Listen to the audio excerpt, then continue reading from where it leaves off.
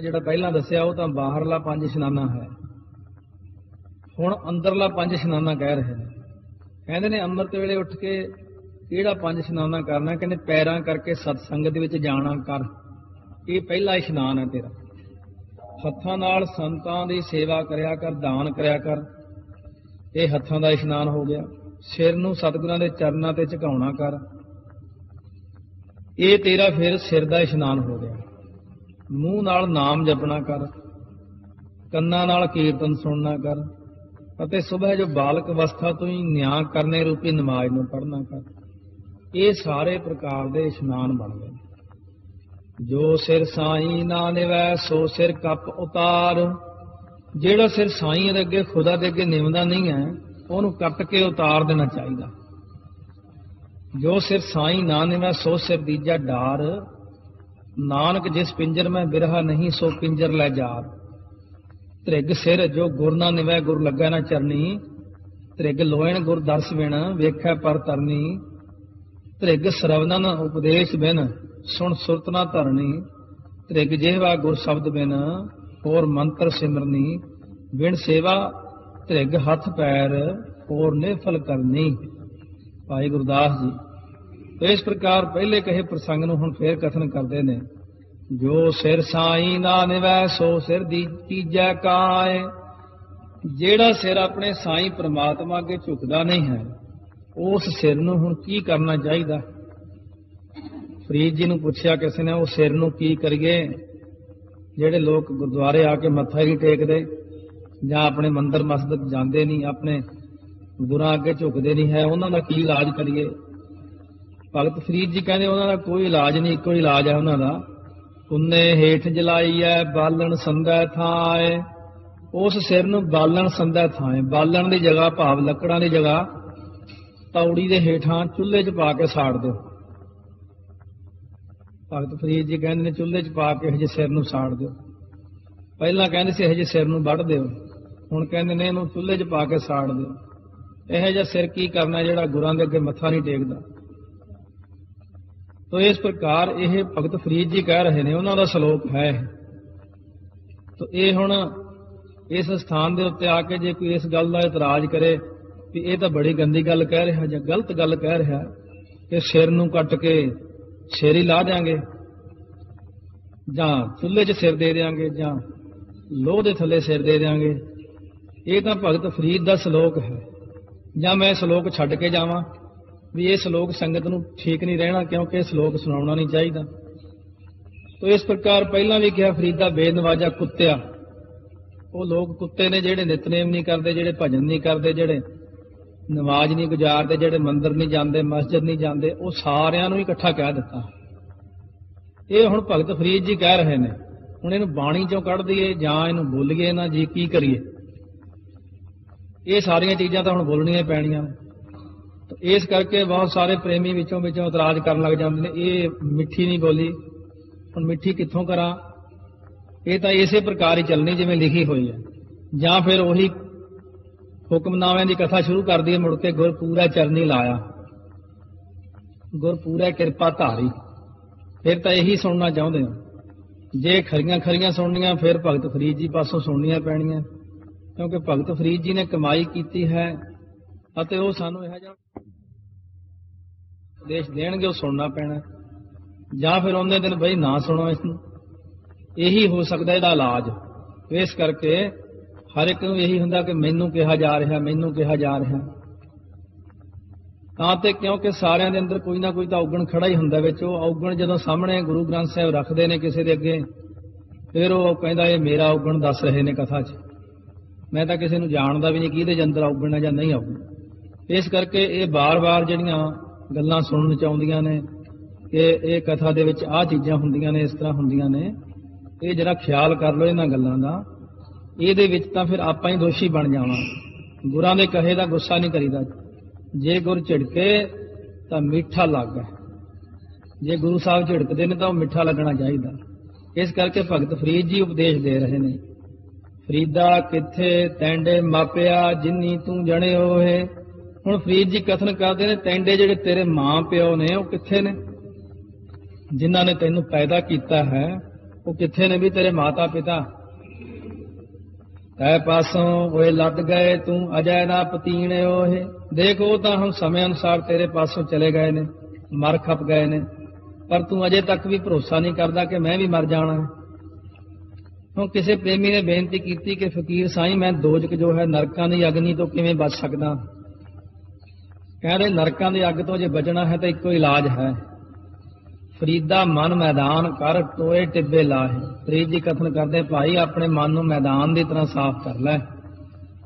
ਅਤੇ ਜਿਹੜੇ ਟੋਏ ਤੇ ਟਿੱਬੇ ਨੇ, ਸੋਗ ਤੇ ਹਰਖ ਨੂੰ ਦੂਰ ਕਰਦੇ ਟੋਏ ਦੀ ਨਿਆਈ ਕਿਸੇ ਨੂੰ ਛੋਟਾ, ਨੀਚ ਦੇਖਣਾ ਤੇ ਕਿਸੇ ਨੂੰ ਟਿੱਬੇ ਦੀ ਤਰ੍ਹਾਂ ਵੱਡਾ ਦੇਖਣਾ, ਇਹ ਦ੍ਰਿਸ਼ਟੀ ਦੂਰ ਕਰਦੇ ਟੋਏ ਦੂਸਰਿਆਂ ਵਿੱਚ ਦੂਸ਼ਣ ਆਰੋਪਣੇ ਤੇ ਟਿੱਬੇ ਜਿਹੜੇ ਨੇ ਆਪਣੇ ਗੁਰਾਂ ਦਾ ਹਿਸਾ- ਹੰਕਾਰ ਕਰਨਾ, ਇਹਨੂੰ ਵੀ ਦੂਰ ਕਰਦੇ ਅੱਗੇ ਮੂਲ ਨਾ ਆਵਸੇ, ਦੋਜਕ ਸੰਧੀ ਹੈ ਤਾਂ ਦੋਜਕ ਨਰਕਾਂ ਦੀ ਜਿਹੜੀ ਅਗਨੀ ਹੈ, ਉਹ ਤੇਰੇ ਅੱਗੇ ਮੂਲ ਨਾ ਆਵਸੀ ਕਦਾ ਚਿਤ ਨਹੀਂ ਆਵੇਗੀ।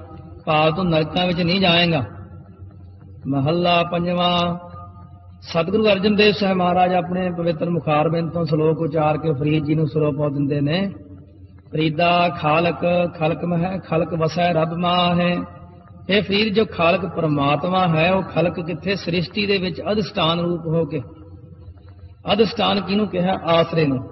ਆਸਰਾ ਰੂਪ ਹੋ ਕੇ ਵਸ ਰਿਹਾ। ਅਤੇ ਖਲਕਤ ਉਸ ਰੱਬ ਦੇ ਵਿੱਚ ਕਲਪਤ ਰੂਪ ਨਾਲ ਵਸੀ ਹੋਈ ਹੈ। ਖਾਲਕ ਪ੍ਰਭੂ ਜੋ ਖਲਕਤ ਵਿੱਚ ਵਸ ਰਿਹਾ ਹੈ ਤੇ ਖਲਕਤ ਰੱਬ ਵਿੱਚ ਵਸ ਰਹੀ ਹੈ। ਮੰਦਾ ਕਿਸਨੋਂ ਆਖੀ ਹੈ, ਜਾਂ ਤਿਸ ਬਿਨ ਕੋਈ ਨਾ ਹੈ ਜੇ ਕਰਕੇ ਉਸ ਵਾਹਿਗੁਰੂ ਤੋਂ ਬਿਨਾ ਹੈ ਹੀ ਕੋਈ ਨਹੀਂ, ਫਿਰ ਮੰਦਾ ਕਿਹਨੂੰ ਆਖੀਏ?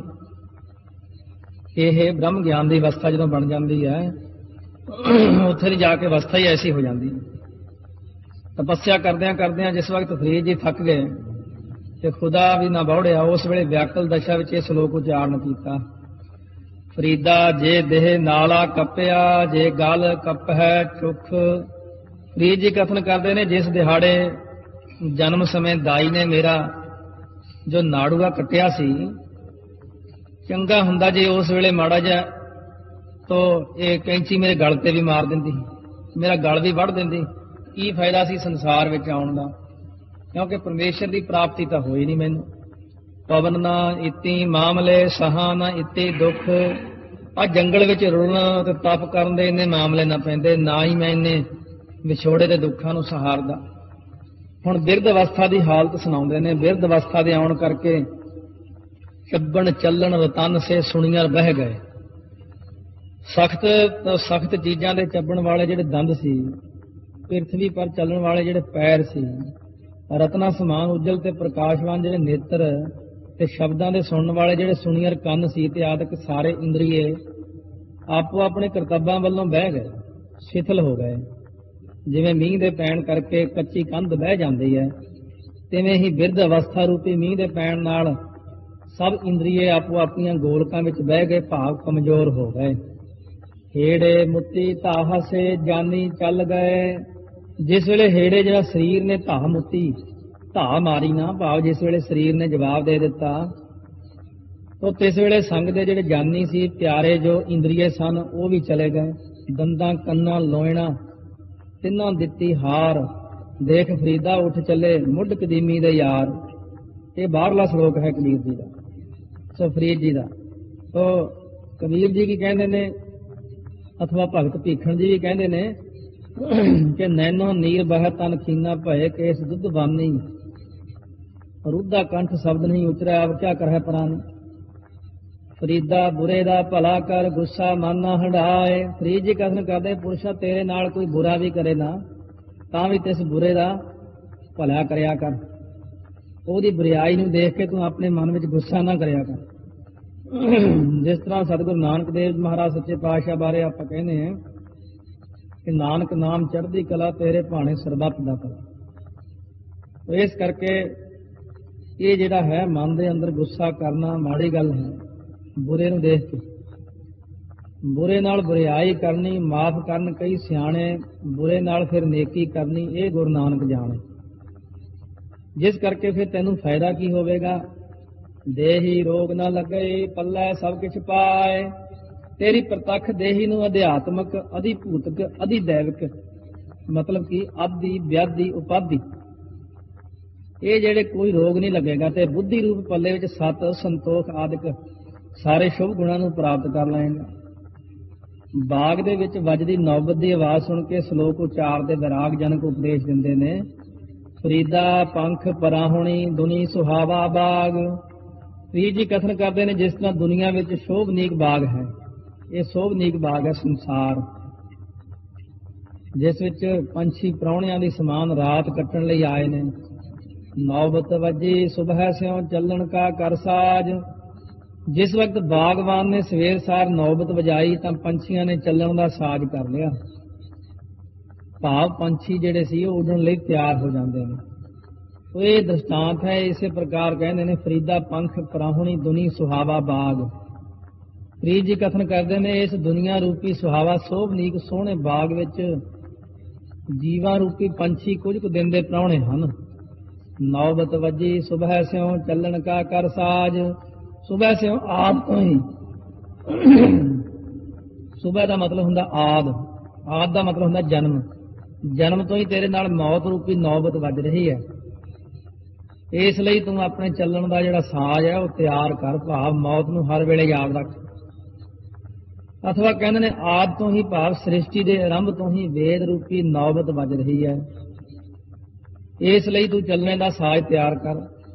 ਭਾਵ ਜਪ, ਤਪ ਆਦਿਕ ਸਾਧਨਾ ਨੂੰ ਕਰਕੇ ਆਪਣੇ ਮਨੁੱਖਾ ਜਨਮ ਨੂੰ ਸਫਲਾ ਕਰ ਲੈ। ਜਿਸ ਕਰਕੇ ਪ੍ਰਲੋਕ ਘਰ ਵਿੱਚ ਤੇਰਾ ਸੁਖ ਸਹਿਤ ਵਾਸਾ ਹੋ ਜਾਵੇ। ਫਰੀਦਾ ਰਾਤ ਕਥੂਰੀ ਵੰਡੀ ਐ, ਸੁੱਤਿਆਂ ਮਿਲੈ ਨਾ ਭਾਵ। ਫਰੀਦ ਜੀ ਕਥਨ ਕਰਦੇ ਨੇ ਜਿਸ ਤਰ੍ਹਾਂ ਸ਼ਾਹੂਕਾਰਾਂ ਵੱਲੋਂ ਰਾਤ ਨੂੰ ਕਸਤੂਰੀ ਵੰਡੀ ਜਾਂਦੀ ਹੈ ਪਰ ਸੁੱਤਿਆਂ ਹੋਇਆਂ ਪੁਰਸ਼ਾਂ ਨੂੰ ਕਸਤੂਰੀ ਵਿੱਚੋਂ ਕੁਝ ਵੀ ਭਾਉ ਜਿਹੜਾ ਹਿੱਸਾ ਮਿਲਦਾ। ਨਹੀਂ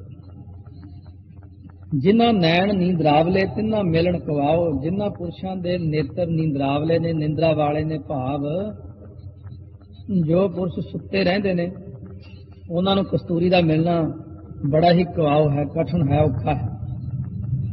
ਕਹਿੰਦੇ ਤਿੰਨਾਂ ਆਲਸੀਆਂ ਨੂੰ ਕਸਤੂਰੀ ਦਾ ਮਿਲਣਾ ਕਵਾਓ ਕਿਸ ਤਰ੍ਹਾਂ ਹੋ ਸਕਦਾ ਹੈ? ਜਿਨ੍ਹਾਂ ਦੇ ਨੇਤਰਾਂ ਦੇ ਵਿੱਚ ਨੀਂਦਰਾਵਲੇ, ਨਿੰਦਰਾ ਵੱਲੋਂ ਹਟ ਕੇ ਭਾਵ ਜੋ ਪੁਰਸ਼ ਉਦਮੀ ਨੇ, ਤਿੰਨਾਂ ਮਿਲਣ ਕਵਾਓ ਤਿੰਨਾਂ ਨੂੰ ਬੁਲਾ ਕੇ ਕਸਤੂਰੀ ਮਿਲਦੀ ਭਾਵ ਦਿੱਤੀ ਜਾਂਦੀ ਹੈ। ਤੇ ਇਹ ਦ੍ਰਿਸ਼ਟਾਂਤ ਇਸੇ ਪ੍ਰਕਾਰ ਨਾਲ ਕਹਿੰਦੇ ਨੇ, ਫਰੀਦਾ ਰਾਤ ਕਥੂਰੀ ਵੰਡਿਆ ਸੁੱਤਿਆਂ ਮਿਲਣ ਭਾਵ। ਫਰੀਦ ਜੀ ਕਥਨ ਕਰਦੇ ਨੇ ਸ਼ਹਿਨशाह ਜੋ ਗੁਰੂ ਸਾਹਿਬ ਜੀ ਨੇ, ਉਹਨਾਂ ਵੱਲੋਂ ਅਵਸਥਾ ਰੂਪੀ ਰਾਤ ਵਿੱਚ ਸਤਸੰਗ ਦੁਆਰਾ ਭਗਤੀ ਰੂਪੀ ਕਸਤੂਰੀ ਵੰਡੀ ਜਾਂਦੀ। ਪਰ ਜਿਹੜੇ ਅਵਿਦਿਆ ਰੂਪੀ ਨੀਂਦ ਵਿੱਚ ਸੁੱਤੇ ਹੋਏ ਨੇ, ਹੁਣ ਉਹਨਾਂ ਨੂੰ ਭਗਤੀ ਦਾ ਹਿੱਸਾ ਨਹੀਂ ਮਿਲਦਾ। ਜਿਨ੍ਹਾਂ ਨੈਣ ਨੀਂਦ ਰਾਵਲੇ ਤਿੰਨਾਂ ਮਿਲਣ ਕਵਾਓ। ਜਿਨ੍ਹਾਂ ਮਨਮੁਖਾਂ ਦੇ ਮਨ ਬੁੱਧ ਰੂਪੀ ਨੇਤਰ ਜਿਹੜੇ ਨੇ, ਅਵਿਦਿਆ ਰੂਪੀ ਨਿੰਦਰਾ ਵਾਲੇ ਨੇ, ਤਿੰਨਾਂ ਨੂੰ ਭਗਤੀ ਦਾ ਮਿਲਣਾ ਬੜਾ ਕੁਆਉ ਹੈ, ਕਠਨ ਹੈ। ਅਥਵਾ ਕਹਿੰਦੇ ਨੇ ਜਿਨ੍ਹਾਂ ਗੁਰਮੁਖ ਜਗਿਆਸੂਆਂ ਦੇ ਮਨ ਬੁੱਧ ਰੂਪੀ ਨੇਤਰ ਜਿਹੜੇ ਨੇ ਨਿੰਦਰਾ ਵਾਲੇ ਤੇ ਵਿਦਿਆ ਰੂਪੀ ਨਿੰਦਰਾ ਵੱਲੋਂ ਹਟ ਗਏ ਨੇ, ਉਹਨਾਂ ਨੂੰ ਭਗਤੀ ਦਾ ਮਿਲਣਾ ਜਿਹੜਾ ਕੁਆਉ ਬੁਲਾ ਕੇ ਦਿੰਦੇ ਨੇ, ਭਗਤੀ ਬਖਸ਼ਿਸ਼ ਕਰਦੇ ਨੇ। ਜਿਸ ਤਰ੍ਹਾਂ ਭਾਈ ਬਹਿਲੋ ਨੂੰ ਬੁਲਾ ਕੇ ਗੁਰੂ ਅਰਜਨ ਦੇਵ ਨੇ ਬਖਸ਼ਿਸ਼ ਕੀਤੀ ਸੀ। ਫਰੀਦਾ ਮੈਂ ਜਾਣਿਆ ਦੁੱਖ ਮੁਝ ਕੋ, ਦੁੱਖ ਸਬਾਇਆ ਜੱਗ।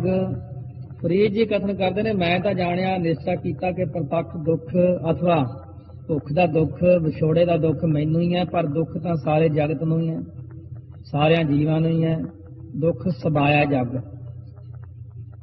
ਕੱਲ ਵੀ ਜਿਵੇਂ ਆਇਆ ਸੀ ਬਾਰ ਪਰਾਇਆ ਬੈਸਣਾ, ਇਸੇ ਪ੍ਰਕਾਰ ਇਹ ਸਬਾਇਆ ਪਾਠ ਵੀ ਐਵੇਂ ਹੀ ਆਉਂਦਾ ਹੈ। ਇਹ ਦੁੱਖ ਸਬਾਈਆ ਨਹੀਂ ਕਰਨਾ, ਦੁੱਖ ਸਬਾਇਆ ਜਗ। ਉੱਚਾ ਚੜ ਕੇ ਦੇਖਿਆ ਤਾਂ ਘਰ ਘਰੇ ਹੈ ਅੱਗ।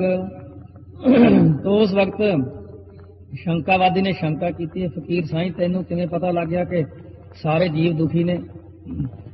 ਤਾਂ ਕਹਿੰਦੇ, ਜਿਸ ਵੇਲੇ ਗਿਆਨ ਵਿਰਾਗ ਰੂਪ ਉੱਚੇ ਟਿੱਬੇ ਪਰ ਚੜ ਕੇ ਦੇਖਿਆ, ਤਾਂ ਮੈਂ ਇਹ ਨਿਸ਼ਚੈ ਕੀਤਾ ਕਿ ਸਾਰੇ ਘਰਾਂ ਘਰਾਂ ਵਿੱਚ ਇਹੀ ਦੁੱਖਾਂ ਰੂਪ ਅੱਗ ਲੱਗੀ ਹੋਈ ਹੈ। ਕਿਸੇ ਦੇ ਸਰੀਰ ਰੂਪ ਘਰ ਵਿੱਚ ਕਾਮ ਦੀ ਅੱਗ ਲੱਗ ਰਹੀ ਹੈ। ਕਿਸੇ ਦੇ ਘਰ ਵਿੱਚ ਕ੍ਰੋਧ ਦੀ ਅੱਗ ਲੱਗੀ ਹੋਈ ਹੈ। ਕਿਸੇ ਦੇ ਘਰ 'ਚ ਲੋਭ, ਕਿਸੇ ਦੇ ਘਰ 'ਚ ਰਾਗ, ਦਵੇਸ਼ ਈਰਖਾ ਵਕੀਲੀ ਦੀ ਅੱਗ ਲੱਗੀ ਹੋਈ ਹੈ। ਅੱਗੇ ਪੰਜਵੇਂ ਪਾਤਸ਼ਾਹ ਕਿਰਪਾ ਕਰ ਰਹੇ ਨੇ। ਮਹੱਲਾ ਪੰਜਵਾਂ। ਫਰੀਦਾ ਭੂਮ ਰੰਗਾਵਲੇ ਮੰਝ ਵਸੂਲਾ ਬਾਗ। ਇਹ ਫਰੀਦ, ਇਹ ਬੁੱਧੀ ਰੂਪ ਧਰਤੀ ਹੈਗੀ ਤਾਂ ਰੰਗਾਵਲੇ ਆਨੰਦ ਵਾਲੀ ਸੀ। ਪਰ ਇਸ ਮਨਮੁਖ ਜੀਵ ਨੇ ਬੁੱਧੀ ਰੂਪ ਧਰਤੀ ਵਿੱਚ ਵਿਸ਼ੇਸ਼ ਕਰਕੇ ਕਾਮ ਆਦਿਕਾਂ ਰੂਪੀ ਸੂਲਾਂ ਜੋ ਕੰਡਿਆਂ ਦਾ ਬਾਗ ਲਗਾਉਣਾ ਕੀਤਾ। ਜਿਵੇਂ ਕੋਈ ਬੰਦਾ ਕਿਸੇ ਰਾਜੇ ਨੇ ਉਹਨੂੰ ਬਾਗ ਦੇ ਦਿੱਤਾ ਚੰਦਨ ਦਾ। ਵੀ ਇਹ ਚੰਦਨ ਦੀ ਲੱਕੜੀ ਵੇਚ-ਵੇਚ ਕੇ ਅਮੀਰ ਹੋ ਜਾਵੇਗਾ। ਉਹ ਬੰਦਾ ਸੀ ਰੋਜ਼ ਲੱਕੜ ਦੇ ਕੋਲੇ ਬਣਾ ਕੇ ਵੇਚਣ ਵਾਲਾ।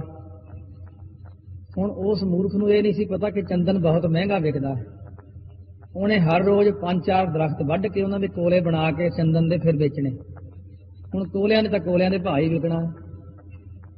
ਜਦੋਂ ਸਾਰਾ ਬਾਗ ਵੱਢ ਕੇ ਵੇਚ ਦਿੱਤਾ ਤਾਂ ਇੱਕ ਦਿਨ ਜਦੋਂ ਕੁਹਾੜਾ ਮੋਢੇ ਤੇ ਰੱਖ ਕੇ ਪੈਸੇ ਲੈਣ ਵਾਸਤੇ ਗਿਆ ਦੁਕਾਨਦਾਰ ਤੋਂ, ਦੁਕਾਨਦਾਰ ਨੇ ਕਿਹਾ, ਦਿਖਾਈ ਇੱਕ ਮਿੰਟ ਕੁਹਾੜਾ ਆਪਣਾ। ਦੁਕਾਨਦਾਰ ਨੇ ਦੇਖਿਆ ਕਿ ਇਹ ਜਿਹੜਾ ਦਸਤਾ ਪਾਇਆ ਹੋਇਆ ਵਿੱਚ, ਇਹ ਤਾਂ ਚੰਦਨ ਦਾ ਹੈ। ਸੁੰਘ ਕੇ ਦੇਖਿਆ, ਬੜੀ ਖੁਸ਼ਬੂ ਵਾਲਾ। ਕਹਿੰਦਾ ਵੀ ਇਹ ਲੱਕੜ ਦੇਣੀ ਮੈਨੂੰ। ਕਹਿੰਦਾ, ਇਹ ਕੀ ਕਰਨੀ ਤੂੰ ਲੱਕੜ? ਮੈਂ ਤਾਂ ਮਸਾ ਕੁਹਾੜੇ ਵਿੱਚ ਪਾਈ ਹੈ। ਕਹਿੰਦਾ, ਨਹੀਂ, ਇਹ ਲੱਕੜ ਦੇ ਮੈਂ ਤੈਨੂੰ 100 ਰੁਪਇਆ ਦੇਵਾਂਗਾ। ਉਹ ਸੋਚਾਂ ਵਿੱਚ ਪੈ ਗਿਆ ਕਿ ਅੱਜ ਤੱਕ ਜਿੰਨਾ ਕੋਲਾ ਵੇਚਿਆ ਉਹ ਸਾਰਾ ਕੋਲਾ 100 ਰੁਪਏ ਦਾ ਵੇਚਿਆ ਤੇ ਇਹ ਇਕੱਲਾ ਹੀ ਲੱਕੜ ਦਾ ਵਿਆਹਾਂ ਜਾਂ 100 ਰੁਪਏ ਦਾ ਇਹ ਕੀ ਕਾਰਨ ਹੈ? ਕਹਿੰਦੇ ਬਈ ਇਹ ਕੀ ਕਾਰਨ ਹੈ? ਕਹਿੰਦੇ ਇਹ ਕਿਉਂਕਿ ਚੰਦਨ ਦਾ ਹੈ ਨਾ, ਇਸ ਕਰਕੇ ਇਹ ਮਹਿੰਗਾ ਹੁੰਦਾ ਉਹ ਜਿਹੜਾ ਲੱਕੜਹਾਰਾ ਸੀ, ਕਹਿਣ ਲੱਗਿਆ, ਅੱਛਾ, ਮੇਰਾ ਤਾਂ ਸਾਰਾ ਬਾਗ ਹੀ ਫਿਰ ਚੰਦਨ ਦਾ ਸੀ। ਕਹਿੰਦੇ, ਹਾਂ। ਕਹਿੰਦੇ, ਤੂੰ ਕੀ ਕੀਤਾ? ਕਹਿੰਦੇ, ਮੈਂ ਤਾਂ ਕੋਲੇ ਬਣਾ ਬਣਾ ਵੇਚ ਦਿੱਤੇ ਉਹ ਕਹਿੰਦੇ ਉਹ ਚੱਲਿਆ ਤੂੰ ਤਾਂ ਲੱਖਾਂ ਪਤੀ ਹੋ ਜਾਣਾ ਸੀ, ਤੂੰ ਕੋਲੇ ਕਿਉਂ ਬਣਾਏ ਚੰਦਨ ਦੇ? ਇਸ ਕਰਕੇ ਸਤਿਗੁਰੂ ਮਹਾਰਾਜ ਕਹਿੰਦੇ, ਜ਼ਿੰਦਗੀ ਤਾਂ ਹੈ ਚੰਦਨ ਦਾ ਬਾਗ, ਖੁਸ਼ਬੂਆਂ ਵਾਲੀ, ਪਰ ਆਪਾਂ ਇਹਨੂੰ ਕਾਮ ਕ੍ਰੋਧ ਦੇ ਕੰਡੇ ਬੀਜ ਕੇ ਆਪਾਂ ਵੀ ਇਹੀ ਗਲਤੀ ਕਰ ਰਹੇ ਹਾਂ ਕਿ ਸਾਰਾ ਬਾਗ ਕੋਈ ਵੱਢ ਕੇ ਜਿਵੇਂ ਅੰਗੂਰ ਲੱਗੇ ਹੋਣ, ਅੰਬ, ਸੇਬ ਲੱਗੇ ਹੋਣ, ਕਾਜੂ, ਬਦਾਮ ਲੱਗੇ ਹੋਣ, ਤੇ ਕੋਈ ਬੰਦਾ ਉਹ ਸਾਰੀਆਂ ਚੀਜ਼ਾਂ ਵੱਢ ਕਰਕੇ ਉੱਥੇ ਕਿਕਰਾਂ ਬੀਜ ਛੱਡੇ। ਇਹ ਕੋਈ ਸਿਆਣਪ ਨਹੀਂ ਹੈ। ਇਸੇ ਤਰ੍ਹਾਂ ਅਸੀਂ ਆਤਮਿਕ ਆਨੰਦ ਛੱਡ ਕੇ ਵਿਸ਼ਿਆਂ ਦੇ ਆਨੰਦ ਲੈਣ ਵਾਸਤੇ ਦਿਨ ਰਾਤ ਭੱਜੇ ਫਿਰਦੇ ਤਾਂ ਸਤਿਗੁਰੂ ਅਰਜਨ ਦੇਵ ਮਹਾਰਾਜ ਕਹਿੰਦੇ ਨੇ, ਜੋ ਜਨ ਪੀਰ ਨਵਾਜਿਆ ਤੇ ਨਾ ਅੰਤ ਨਾ ਲਾਗ।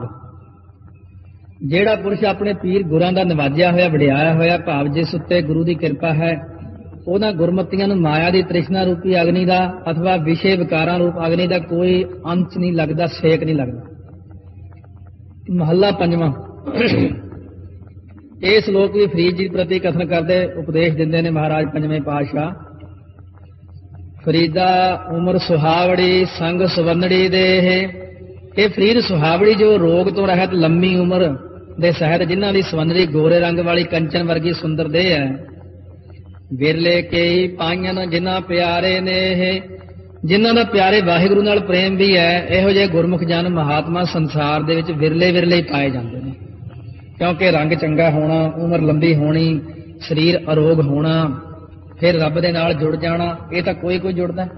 ਨਹੀਂ ਤਾਂ ਜ਼ਿਆਦਾਤਰ ਬਿਮਾਰ ਹੋ ਜਾਏ, ਫਿਰ ਜੁੜਦਾ। ਕੋਈ ਦੁੱਖ ਆ ਜਾਏ, ਫਿਰ ਜੁੜਦਾ। ਕੋਈ ਹੋਰ ਗੱਲ ਹੋ ਜਾਏ, ਤਾਂ ਜੁੜਦਾ। ਨਹੀਂ ਤਾਂ ਕੋਈ ਜੁੜਦਾ ਹੀ ਨਹੀਂ ਪ੍ਰਮਾਤਮਾ ਨਾਲ। ਇਹ ਜੇ ਤਾਂ ਕੋਈ ਵਿਰਲੇ ਹੀ ਨੇ। ਉਮਰ ਸੁਹਾਵੜੀ ਜੋ ਸ਼ੋਭਨੀਕ ਭਾਵ ਰੋਗ ਤੋਂ ਰਹਿਤ ਲੰਮੀ ਉਮਰ ਦਾ ਹੋਣਾ ਹੈ। ਸੰਗ ਸਵੰਨੜੀ ਦੇਹ ਨਾਲ ਹੀ ਸ੍ਰੇਸ਼ਟ ਰੰਗ ਵਾਲੀ ਦੇਹ ਦਾ ਹੋਣਾ ਤੇ ਪਿਆਰੇ ਪ੍ਰਮਾਤਮਾ ਨਾਲ ਪ੍ਰੇਮ ਹੋਣਾ। ਇਹਨਾਂ ਤਿੰਨਾਂ ਗੱਲਾਂ ਨੂੰ ਕੋਈ ਵਿਰਲੇ ਹੀ ਗੁਰਮੁਖ ਪਾਉਂਦੇ ਨੇ, ਜਿਨ੍ਹਾਂ ਦੇ ਮੱਥੇ ਤੇ ਚੰਗੇ ਲੇਖ ਨੇ। ਸੋ ਜਿਸ ਪਾਕਪਟਨ ਸ਼ਹਿਰ 'ਚ ਫਰੀਦ ਜੀ ਰਿਹਾ ਕਰਦੇ ਸੀ, ਕੁਦਰਤੀ ਉਸ ਨੂੰ ਦਰਿਆ ਨੇ ਢਾਹ ਲਾ ਦਿੱਤੀ। ਲੋਕਾਂ ਨੇ ਯਤਨ ਤਾਂ ਬਹੁਤ ਕੀਤੇ, ਪਰ ਸਫਲਤਾ ਪ੍ਰਾਪਤ ਨਾ ਹੁੰਦੀ ਦੇਖ ਕੇ ਫਰੀਦ ਜੀ ਪਾਸ ਆਏ। ਆ ਕਰਕੇ ਬੇਨਤੀ ਕੀਤੀ ਅਸੇ ਉਸ ਜਗ੍ਹਾ ਤੇ ਲੈ ਆਏ। ਉੱਥੇ ਦਰਿਆ ਦੇ ਕਿਨਾਰੇ ਪਰ ਖਲੋ ਕੇ ਫਰੀਦ ਜੀ ਇਹ ਸ਼ਲੋਕ ਉਚਾਰਨ ਲੱਗੇ ਕੰਧੀ ਵਹਿਣ ਨਾ ਢਾਹੇ, ਤਉ ਵੀ ਲੇਖਾ ਦੇਵਣਾ। ਦਰਿਆ ਨੂੰ ਕਹਿਣ ਲੱਗੇ, ਹੇ ਵਹਿਣ, ਇਹ ਦਰਿਆ ਤੂੰ, ਇਹਨਾਂ ਕੰਧੀ ਕਿਨਾਰਿਆਂ ਨੂੰ ਨਾ ਢਾਣਾ ਕਰ। ਜੇ ਢਾਹੇਗਾ ਤਾਂ ਤੈਨੂੰ ਖੁਦਾ ਦੀ ਦਰਗਾਹ ਵਿੱਚ ਹਿਸਾਬ ਦੇਣਾ ਪਏਗਾ। ਇਹ ਖਿਆਲ ਕਰ ਲੈ।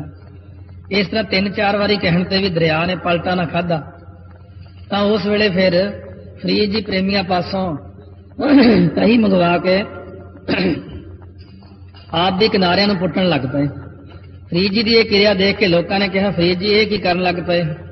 ਜੋ ਤੁਹਾਨੂੰ ਤਾਂ ਦਰਿਆ ਦੇ ਥੱਲਣ ਵਾਸਤੇ ਬੁਲਾਇਆ ਸੀ, ਪਰ ਤੁਸੀਂ ਤਾਂ ਸਗੋਂ ਆਪ ਹੀ ਕਿਨਾਰਿਆਂ ਨੂੰ ਢਾਉਣ ਲੱਗ ਪਏ ਹੋ। ਤਾਂ ਫਰੀਦ ਜੀ ਨੇ ਕਿਹਾ, ਮੇਰੀ ਕੀ, ਮੇਰੇ ਕੀ ਇਖਤਿਆਰ? ਜਿੱਧਰ ਰੱਬ ਰਜਾਏ ਵਹਿਣ ਤਦਾਉ ਗਾਉ ਕਰੇ। ਹੁਣ ਜਿਸ ਪਾਸੇ ਵਾਹਿਗੁਰੂ ਦੀ ਆਗਿਆ ਹੈ, ਇਹ ਦਰਿਆ ਜਿਹੜਾ ਹੈ ਤਦਾਉ ਗਾਉ ਕਰੇ, ਉਸ ਪਾਸੇ ਚੱਲਣਾ ਕਰ ਰਿਹਾ। ਉਹ ਕਹਿੰਦੇ ਨੇ, ਜਦੋਂ ਕਹੀ ਲੈ ਕੇ ਫਰੀਦ ਜੀ ਕਹਿੰਦੇ ਵੀ ਰੱਬ ਤਾਂ ਪਾਕ ਪਟਨ ਸ਼ਹਿਰ ਨੂੰ ਦਰਿਆ ਮੋੜ ਰਿਹਾ। ਇਹ ਸ਼ਹਿਰ ਨੂੰ ਡੋਬਣਾ ਹੈ। ਆਪਾਂ ਕਿਉਂ ਫਿਰ ਇਹ ਕਹੀਏ ਕਿ ਪਰੇ ਨੂੰ ਪਾਣੀ ਜਾਵੇ?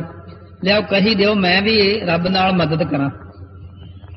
ਮੈਂ ਵੀ ਦਰਿਆ ਦਾ ਵਹਿਣ ਵੱਢ ਕੇ ਨਾ ਪਾਕ ਪਟਣ ਵੱਲ ਨੂੰ ਮੋੜ ਦਿਆਂ ਜਿਉਂ ਹੀ ਕਹੀ ਲੈ ਕੇ ਫਰੀਦ ਥਾਂ ਪੁੱਟਣ ਲੱਗ ਪਏ, ਉਸੇ ਵਕਤ ਹੀ ਐਸੀ ਛਲ ਵੱਜੀ, ਦਰਿਆ ਦਾ ਵਹਿਣ ਪਰੇ ਨੂੰ ਮੁੜ ਗਿਆ ਸਾਰਾ ਕਿਉਂਕਿ ਭਾਣੇ ਅੰਦਰ ਚੱਲ ਪਏ ਨਾ, ਭਾਣੇ ਅੰਦਰ ਚੱਲਣ ਤੋਂ ਵਾਹਿਗੁਰੂ ਖੁਸ਼ ਹੋ ਗਏ। ਉਹਨਾਂ ਨੇ ਦਰਿਆ ਦਾ ਵਹਿਣ ਹੀ ਮੋੜ ਦਿੱਤਾ।